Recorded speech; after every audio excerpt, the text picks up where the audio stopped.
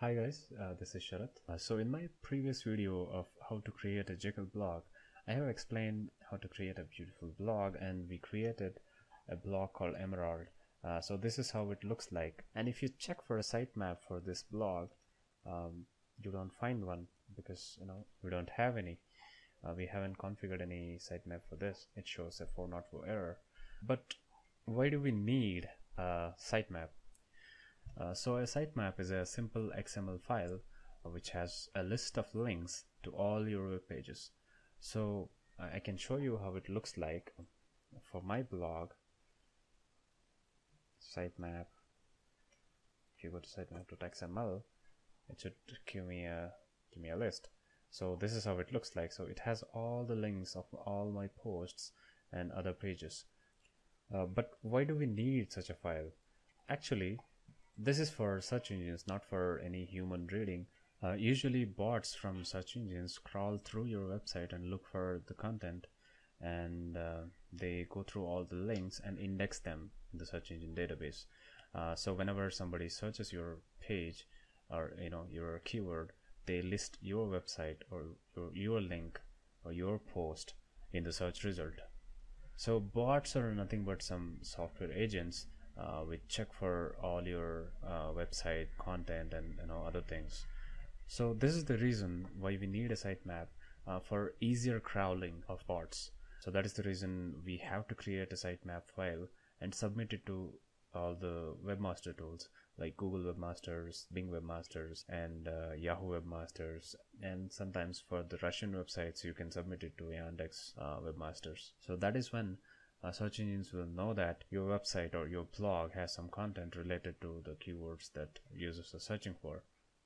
So now that you know the importance of having a sitemap file, let's go ahead and create one for our blog as well, so which is Emerald.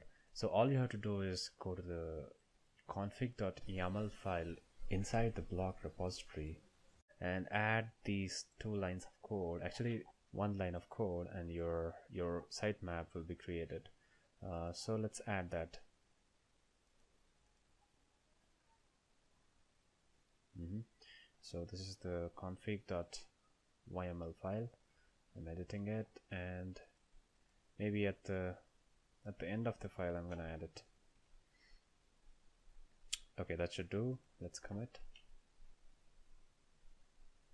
Okay so now that the code is there uh, let's check again if the sitemap has been created or not. Uh, not yet.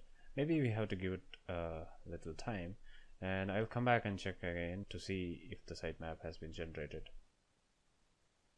So even after like five minutes I didn't get the sitemap file. Uh, probably there is something wrong with the code. Let's check it out. Okay. So oh I guess uh, you know it has to be in this format. I mean like you know it has to be the code the second line should be below gem. Okay so uh, got it wrong. So let's give it some tab. Okay this should do now. Okay. Um, yes it is.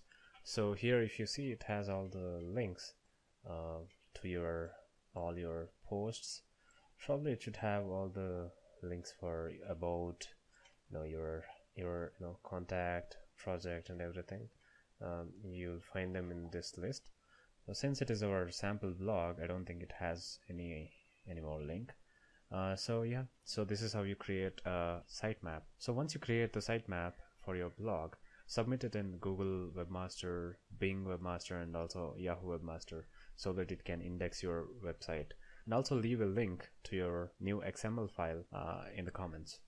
So if you think it helped, then leave a thumbs up and subscribe to get updates on my next videos. Until then, bye bye.